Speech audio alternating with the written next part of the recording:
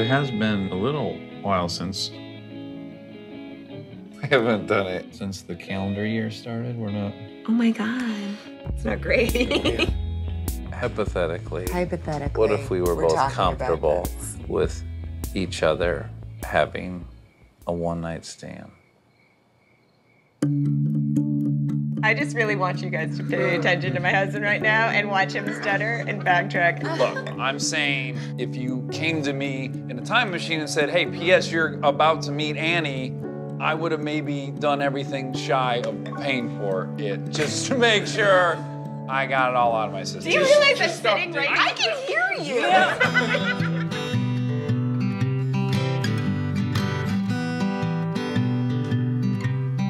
I do. I come every Every day. day. I'm I'm fine. Yeah, but you'd still come in to see me, right?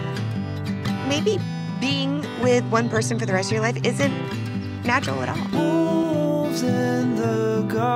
It means that for tonight, you are not. Maybe if we're out there in the world and with other people, we're reminded of everything that we had when we started. I'm married, yeah. That's your wife. So why are you here?